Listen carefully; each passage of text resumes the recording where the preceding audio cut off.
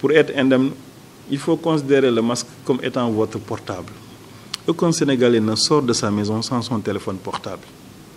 Je pense que si vous assimilez le masque au téléphone portable, vous êtes tranquille. Même quand vous sortez, vous l'oubliez, vous retournez à la maison. Sans votre téléphone portable, vous ne sortez pas. Dites-vous que sans le masque, je ne sors pas.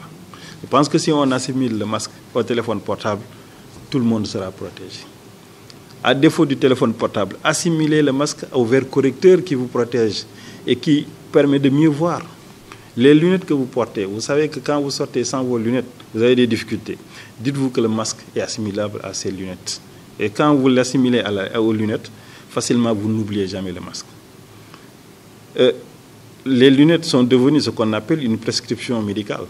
Le masque est une prescription médicale que chacun devra respecter. Si on respecte les prescriptions médicales, on a moins de problèmes. Je pense que là, ça doit maintenant titiller l'intelligence de tout le monde. Et à partir de ce moment, moi, je leur dis que assimiler le masque à ces deux produits, soit le portable ou bien les lunettes.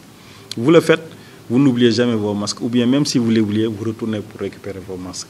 Et même on l'oublie, on sort en cours de route rapidement, il est possible de se procurer maintenant partout des masques qui vous permettent quand même de respecter ces gestes barrières. Mais il y a aussi dans le respect de ces gestes barrières ce qu'il faut comprendre. C'est vrai, je me protège. J'ai la responsabilité de me protéger pour préserver ma santé. Mais tout autre aussi, j'ai la responsabilité de protéger l'autre qui est devant moi.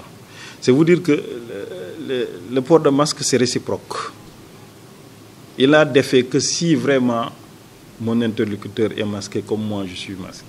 Le port de masque nous empêche quand même de ne pas propager la maladie, de freiner. Mais aussi, non seulement on freine la contamination, mais on se protège. Et la plus grande responsabilité pour un chef de famille, c'est de sortir indemne et revenir indemne à la maison. Ce serait vraiment autre chose pour un chef de famille que de sortir indemne et d'amener cette maladie à la maison. C'est pourquoi nous devons tout faire pour que, quand on sort de chez nous, qu'on puisse avoir toutes les garanties possibles pour que cette sécurité sanitaire puisse être assurée depuis que nous sommes dehors jusqu'à ce qu'on rentre à la maison. Et ça, il n'y a pas meilleure solution que de respecter les gestes barrières.